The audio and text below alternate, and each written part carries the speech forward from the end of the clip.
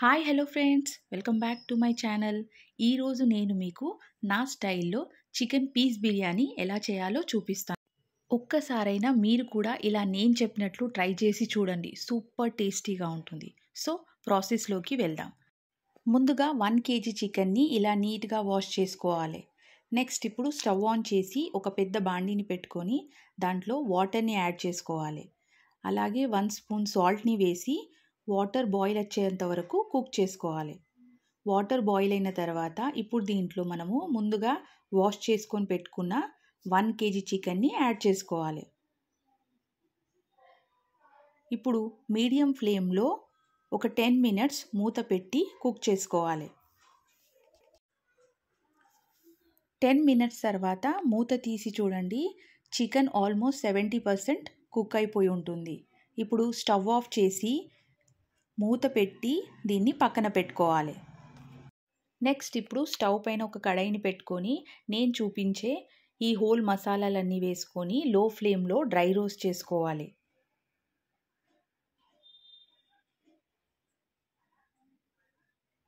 ఇవి కొంచెం dry roast అయిన తర్వాత ఇప్పుడు దీంట్లో ఒక టెన్ వరకు ఎండుమిర్చిని కూడా వేసి లో ఫ్లేమ్లో డ్రై రోస్ట్ చేసుకోవాలి.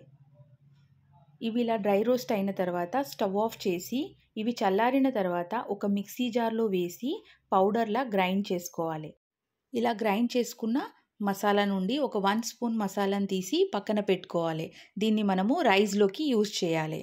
నెక్స్ట్ ఇప్పుడు ఈ మిగతా మసాలాలో one spoon dhania powder half spoon jeera powder వేసి మళ్ళీ ఒకసారి గ్రైండ్ చేసుకోవాలి. దీన్ని మనము కర్రీలోకి యూజ్ చేయాలి. నెక్స్ట్ ఇప్పుడు స్టవ్ పైన ఒక కడాయిని పెట్టుకొని ఆయిల్ వేసి ఆయిల్ కొంచెం వేడైన తర్వాత ఒక త్రీ ఆనియన్స్ని ఇలా స్లైజెస్లా కట్ చేసి యాడ్ చేసుకోవాలి.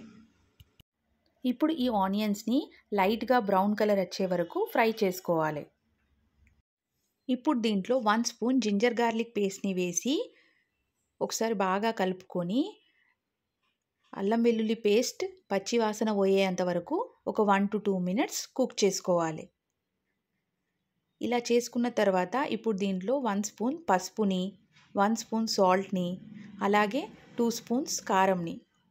సాల్ట్ ఇంకా కారం అనేది మీ టేస్ట్ని బట్టి యాడ్ చేసుకోవాలి. మేము కొంచెం స్పైసీగా తింటాం కాబట్టి ఎక్కువగానే యాడ్ చేశాను. అలాగే కొంచెం కరివేపాకుని కూడా వేసుకొని మనం ముందుగా గ్రైండ్ చేసుకొని పెట్టుకున్న మసాలాల నుండి హాఫ్ మసాలా ఇప్పుడు వేసుకోవాలి. హాఫ్ మసాలాని కర్రీ లాస్ట్లో వేసుకోవాలి. ఇప్పుడు మసాలా అంతా బాగా కలిసేలా ఒకసారి బాగా కలుపుకొని మనం ముందుగా కుక్ చేసుకొని పెట్టుకున్న చికెన్ని వాటర్ లేకుండా యాడ్ చేసుకోవాలి. ఇలా చికెన్ని వాటర్ లేకుండా అంతా యాడ్ చేసుకున్న తర్వాత ఈ వాటర్ని పారబోయొద్దు. ఈ వాటర్తోనే మనము రైస్ని కుక్ చేసుకుంటాం. ఈ రెసిపీలో మెయిన్ హైలైట్ ఈ వాటర్తో రైస్ కుక్ చేయడమే. సూపర్ టేస్టీగా ఉంటుంది ఫ్రెండ్స్. ఇలా పీసెస్ అన్నీ వేసిన తర్వాత బాగా కలుపుకోవాలి. మసాలా అంతా ముక్కలకు పట్టేలా. ఇలా కలుపుకున్న తర్వాత మూత పెట్టి లో ఫ్లేమ్లో ఒక ఫైవ్ మినిట్స్ కుక్ చేసుకోవాలి. ఫైవ్ మినిట్స్ కుక్ చేసుకున్న తర్వాత మూత తీసి ఒకసారి కలిపి ఆ మిగతా మనం మసాలాను కూడా వేసేసి అలాగే ఒక కప్పు కొత్తిమీరని వేసి ఒకసారి అంతా బాగా మిక్స్ చేసుకోవాలి. ఇలా కలుపుకుంటూ మరో టూ టు త్రీ మినిట్స్లో ఫ్లేమ్లో ఫ్రై చేసుకోవాలి. అంతే ఫ్రెండ్స్ మన కర్రీ రెడీ అయిపోయింది. స్టవ్ ఆఫ్ చేసి ఈ కర్రీని పక్కన పెట్టుకోవాలి. ముందుగానే నేను ఇక్కడ రైస్ని కడిగి నానబెట్టుకున్నాను. వన్ కేజీ చికెన్కి వన్ కేజీ రైస్ని కడిగి నానబెట్టుకున్నాను. నెక్స్ట్ ఇప్పుడు స్టవ్ ఆన్ చేసి ఒక పెద్ద కడాయిని పెట్టుకొని దాంట్లో కొంచెం ఆయిల్ని కొంచెం గీని వేసి నేను చూపించిన ఈ రెండు మసాలాలని వేసుకోవాలి. ఇవి కొంచెం ఫ్రై అయిన తర్వాత మనం ముందుగా గ్రైండ్ చేసినప్పుడు వన్ స్పూన్ మసాలాని తీసి పక్కన పెట్టినాం కదా ఆ మసాలాని వేసి అలాగే వన్ కప్ పుదీనాని వేసి ఒక టెన్ పచ్చిమిర్చీలను వేసుకొని ఒకసారి ఫ్రై చేసుకోవాలి. ఇవి కొంచెం ఫ్రై అయిన తర్వాత ఇప్పుడు దీంట్లో వన్ స్పూన్ జింజర్ గార్లిక్ పేస్ట్ని వేసి దీని పచ్చి వాసన పోయేంత వరకు ఫ్రై చేసుకోవాలి. నెక్స్ట్ ఇప్పుడు దీంట్లో మనము చికెన్ ఉడికించిన వాటర్ని యాడ్ చేసుకోవాలి.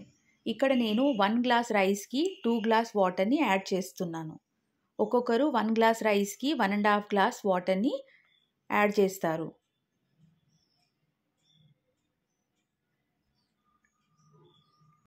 ఇలా వాటర్ అంతా యాడ్ చేసిన తర్వాత హై ఫ్లేమ్లో ఒక బాయిల్ వచ్చే వరకు కుక్ చేసుకోవాలి. ఇలా బాయిల్ వచ్చిన తర్వాత ఇప్పుడు దీంట్లో వన్ కప్ కొత్తిమీరని వేసి అలాగే ఒక హాఫ్ స్పూన్ సాల్ట్ని కూడా వేసుకోవాలి. అలాగే ఒక టూ స్పూన్స్ గీని వేసి ఒకసారి కలుపుకొని స్టవ్ని లోలో పెట్టుకొని మనం ముందుగా కడిగి పెట్టుకున్న రైస్ని వాటర్ లేకుండా వంపేసి ఓన్లీ రైస్ని యాడ్ చేసుకోవాలి. రైస్ యాడ్ చేసేటప్పుడు ఫ్లేమ్ని లోలో పెట్టుకోవాలి. రైస్ అంతా యాడ్ చేసిన తర్వాత ఇప్పుడు ఫ్లేమ్ని హైలో పెట్టుకొని రైస్ని కుక్ చేసుకోవాలి. ఇక్కడ నేను బాస్మతి రైస్ కాకుండా రెగ్యులర్గా మేము యూజ్ చేసే శ్రీరామ్ రైస్ని తీసుకున్నాను. ఎందుకంటే మా ఇంట్లో మేము వీటినే ఎక్కువ ఇష్టపడతాము. మీరు కావాలనుకుంటే బాస్మతి రైస్ని కూడా యూజ్ చేయొచ్చు. ఏ రైస్ని యూజ్ చేసినా టేస్ట్లో మాత్రం తేడా ఉండదు. ఇలా రైస్ నైంటీ పర్సెంట్ ఉడికిన తర్వాత ఒకసారి కలుపుకొని మూత పెట్టి లో ఫ్లేమ్లో ఒక ఫైవ్ మినిట్స్ కుక్ చేసుకోవాలి.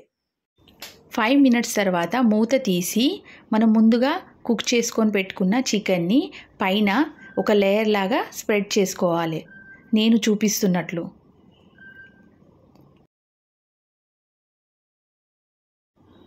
ఇలా అంతా స్ప్రెడ్ చేసుకున్న తర్వాత మూత పెట్టి స్టవ్ ఆఫ్ చేసుకొని పది నిమిషాలు కదిలించకుండా అలాగే వదిలేసుకోవాలి. పది నిమిషాల తర్వాత మూత తీసి వేడివేడిగా సర్వ్ చేసుకోండి. అంతే ఫ్రెండ్స్ మన super tasty yummy chicken piece biryani ready. Friends మీరు ఒక్కసారి దీన్ని ట్రై చేసి చూడండి. చాలా బాగుంటుంది. దీంట్లో మెయిన్ హైలైట్ ఏంటంటే చికెన్ ఉడికించిన వాటర్తో మనము రైస్ని కుక్ చేస్తాము. అందుకే చాలా టేస్టీగా ఉంటుంది. సో ఒకవేళ ఈ రెసిపీ మీకు నచ్చినట్లయితే please do like share and subscribe my channel. Thank you.